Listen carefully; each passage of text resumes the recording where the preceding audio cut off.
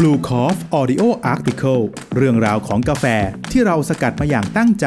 ฟังง่ายๆ สบายๆ โดยที่คุณไม่ต้องอ่าน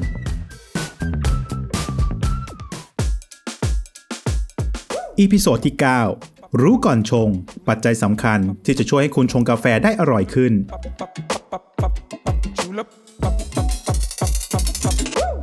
สำหรับผู้ที่อยู่ในช่วงแรกของการเข้าสู่โลกของกาแฟ หรือเพิ่งเริ่มฝึกชงกาแฟด้วยตัวเอง คงมีคำถามในใจว่า จะชงกาแฟอย่างไรให้อร่อย และในการชงกาแฟต้องดูปัจจัยอะไรบ้าง ปัญหาเหล่านี้มีคำตอบ เพื่อให้การชงกาแฟของคุณกลายเป็นเรื่องง่ายและสนุกมากขึ้น ติดตามรับฟังไปพร้อมกันได้ใน Bluecoff Audio Article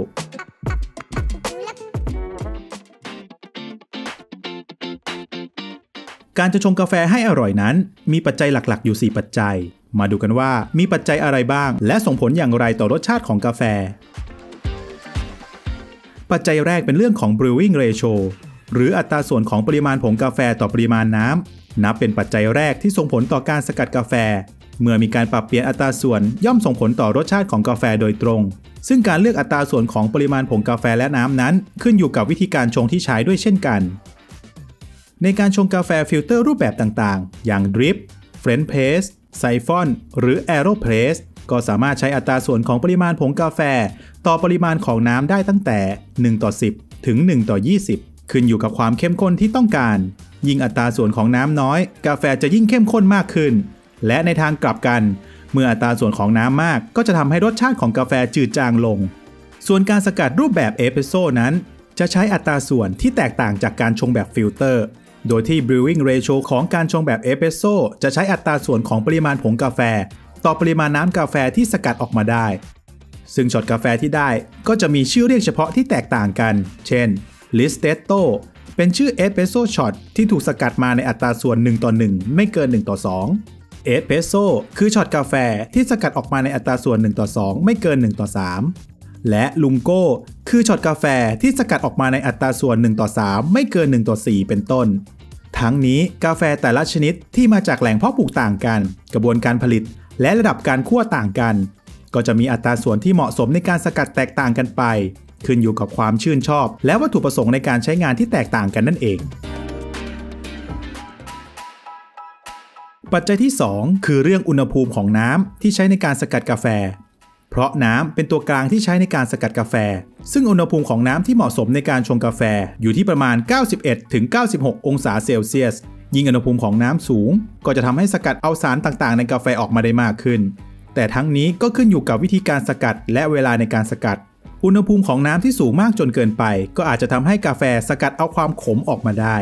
ลองหาอุณหภูมิน้ำที่เหมาะสมกับรูปแบบการชง และเมล็ดกาแฟที่คุณดื่ม จะทำให้คุณได้ประสบการณ์ในการดื่มกาแฟใหม่ ๆ ที่คุณอาจจะไม่เคยลองมาก่อน ถัดมาปัจจัยที่ 3 คือเรื่องของขนาดของผงกาแฟ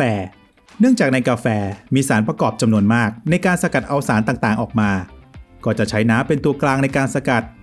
ซึ่งขนาดของผงกาแฟที่เหมาะสม จะทำให้กาแฟถูกสกัดออกมาได้อย่างสมบูรณ์แบบ ผงกาแฟที่มีขนาดเล็ก หรือบดละเอียด จะทำให้กาแฟสามารถสกัดเอาสารต่างๆ ออกมาได้ง่ายมากขึ้น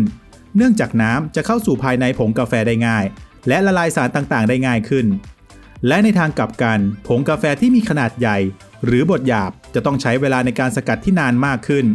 แต่ทั้งนี้การที่น้ำเข้าไปสกัดเอาสารต่างๆ ของกาแฟออกมามาก ไม่ได้แปลว่าจะทำให้รสชาติของกาแฟดีเสมอไป เพราะอาจจะเข้าไปสกัดเอาสารบางอย่างที่เราไม่ต้องการออกมาก็ได้ เช่น สารที่ทำให้เกิดรสขมเป็นต้น ดังนั้นเพื่อให้เกิดการสกัดตัวที่เหมาะสม สม่ำเสมอ และให้ได้กาแฟรสชาติที่ดี ขนาดของผงกาแฟต้องมีความสม่ำเสมอ และเหมาะสมกับรูปแบบของการสกัดที่เลือกใช้ และปัจจัยสุดท้ายคือเรื่องของเวลาที่ใช้ในการสกัด เวลาที่ใช้ในการสกัดกาแฟเป็นอีกหนึ่งปัจจัยที่สำคัญไม่แพ้ปัจจัยอื่น ๆ เมื่อใช้เวลาในการสกัดที่นานขึ้น สารต่างๆ ที่อยู่ในเมล็ดกาแฟก็จะออกมาได้มากขึ้น แต่หากสกัดกาแฟนานเกินไป ก็อาจจะทำให้เกิดรสชาติที่ไม่ดีได้เช่นกัน ดังนั้นจึงต้องดูปัจจัยอื่น ๆ ควบคู่กันไปด้วย และทั้งหมดนี้ก็เป็นปัจจัยหลักๆ ที่ส่งผลต่อรสชาติของกาแฟ แต่สิ่งที่สำคัญที่สุดในการชงกาแฟให้อร่อย คือความใส่ใจในการชิมกาแฟทุกแก้ว บันทึกปัจจัยต่างๆ เพื่อนำมาปรับ เพื่อให้ได้กาแฟรสชาติอร่อยถูกใจคุณมากที่สุดนั่นเอง